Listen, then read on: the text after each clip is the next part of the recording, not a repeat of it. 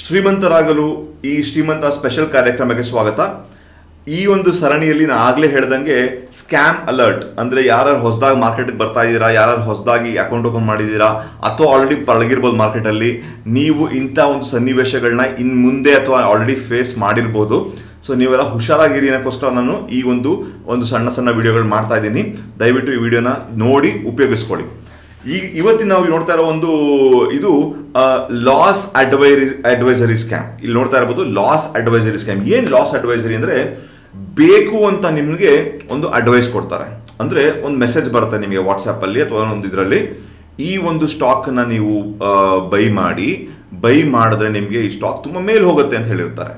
ಯಾಕೆ ಈ ಥರ ಅಡ್ವೈಸ್ ಕೊಡ್ತಾರೆ ಅಂದರೆ ನಾನು ಹೇಳ್ತೀನಿ. ಈಗ ಒಂದು ಕಂಪನಿ ನಾ ಒಂದು ಕಂಪನಿಯ ಓನರ್ ನನ್ನ ಕಂಪನಿ ಹೆಸರು ಎಕ್ಸ್ ವೈ ಜಿ ಅಂತ ಅನ್ಕೊಂಡು. ಎಕ್ಸ್ ವೈ ಝೆಡ್ ಅಂತ ಅನ್ಕೊಳ್ಳೋಣ ಕಂಪನಿ ಹೆಸರು.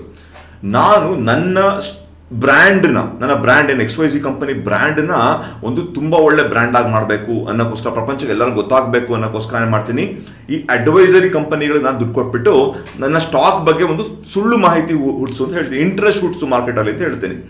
ಅವ್ರೇನು ಮಾಡ್ತಾರೆ? ಓಕೆ ಅಂದ್ಬಿಟ್ಟು ಅವ್ರ ಹತ್ರ ಎಷ್ಟೊಂದು ಲಕ್ಷಾಂತರ ರೂಪಾಯಿ ಇಸ್ಕೊಂಡು ಮಾರ್ಕೆಟಲ್ಲಿ ವಾಟ್ಸಪ್ಪಲ್ಲೆಲ್ಲ ನಿಮಗೆ ಮೆಸೇಜಲ್ಲಿ ಅಲ್ಲೆಲ್ಲ ನಿಮಗೆ ಬರುತ್ತೆ. ಈ ಒಂದು ಕಂಪನಿ ವಾಚ್ ಮಾಡಿ ತುಂಬ ಒಳ್ಳೆ ಕಂಪನಿ ಹಾಗೆ ಹೀಗೆ ಅಂತ ಹೇಳ್ಬಿಟ್ಟು ಬರುತ್ತೆ. ಸಡನ್ ಏನಾಗುತ್ತೆ? ಮಾರ್ಕೆಟಲ್ಲಿ ಒಂದು ಒಂದು ಬಸ್ ಅಂತ ಹೇಳ್ತಾರೆ. ಅಥವಾ ಒಂದು ಒಂದು ಒಂದು ಒಂದು ಹೀಟ್ ಬರುತ್ತೆ ಮಾರ್ಕೆಟಲ್ಲಿ ಅಂದ್ರೆ ಜನ ನಮ್ಗಳ ಹತ್ರಲ್ಲೇ ಒಂದು ಬಂದಾಗ, ಓ, ಯಾವುದೋ ಒಂದು ಎಕ್ಸ್ ವೈ ಸಿ ಕಂಪನಿ ಅಂತ ತುಂಬಾ ಚೆನ್ನಾಗಿರ್ಬೋದು ಅಂದ್ಬಿಟ್ಟು ನಾವು ಒಂದು ಇಂಟ್ರೆಸ್ಟ್ ತೋರಿಸಿ ಅದರಲ್ಲಿ ಹೂಡಿಕೆ ಮಾಡ್ತೀವಿ. ಇದೊಂದು ಅದರಲ್ಲಿ ನಿಜವಾಗ್ಲೂ ಆ ಕಂಪನಿ ಚೆನ್ನಾಗಿದೆಯಾ ಅಲ್ವಾ ನಮಗೆ ಗೊತ್ತಿಲ್ಲ. ಆದರೆ ಒಂದು ಒಂದು ಒಂದು ಈ ಥರ ಒಂದು ಅಡ್ವೈಸ್ ಇಂದ ನಾವೇನ್ ಮಾಡ್ತೀವಿ? ಹೂಡಿಕೆ ಮಾಡ್ಬೋದು. ಒಂದು ಕಾರಣ. ಎರಡನೇ ಕಾರಣ. ಯಾರೋ ಒಬ್ಬನ ಹತ್ರ ಬೈ ಮಿಸ್ಟೇಕು ಎಷ್ಟೋ ಕೋಟಿ ಇನ್ವೆಸ್ಟ್ ಮಾಡಿ ಅದೊಂದು ತಪ್ಪು ಸ್ಟಾಕ್ ಇನ್ವೆಸ್ಟ್ ಮಾಡಿಬಿಟ್ಟಿರ್ತಾನೆ. ಅವನೊಬ್ಬ ಬಿಸ್ನೆಸ್ ಮ್ಯಾನ್ ಇರ್ಬೋದು, ಏನೋ ಒಬ್ಬ ಇರ್ಬೋದು, ಎಷ್ಟೋ ಸಾವಿರಾರು ಕೋಟಿ ಅಥವಾ ಎಷ್ಟೋ ನೂರಾರು ಕೋಟಿ ಅಥವಾ ಎಷ್ಟೋ ಕೋಟಿ ರೂಪಾಯಿ ಇನ್ವೆಸ್ಟ್ ಮಾಡಿ ಯಾವುದೋ ಒಂದು ತಪ್ಪು ಕಂಪನಿಯ ಸ್ಟಾಕ್ಗಳನ್ನ ಖರೀದಿ ಮಾಡ್ಕೊಂಡ್ಬಿಟ್ಟಿರ್ತಾನೆ.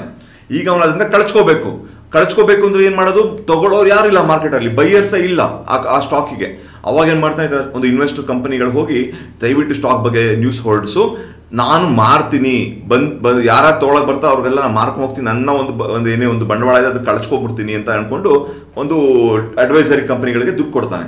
ಈ ಅಡ್ವೈಸರಿ ಕಂಪನಿಗಳು ನಮ್ಮಂತ ನಿಮ್ಮಂಥವ್ರಿಗೆಲ್ಲರಿಗೂ ಮೆಸೇಜ್ ಹಾಕ್ತಾರೆ. ಹಾಕಿ ಈ ಕಂಪನಿ ಸ್ಟಾಕ್ ತಗೊಳ್ಳಿ, ಚೆನ್ನಾಗಿ ಹೋಗ್ಬೋದು, ಮೇಲೆ ಹಂಗೆ ಅಂತ ಹೇಳ್ತಾರೆ. ಬೈಯರ್ಸ್ನ ಕರ್ಕೊಂಬರ್ತಾರೆ ಮಾರ್ಕೆಟಿಗೆ.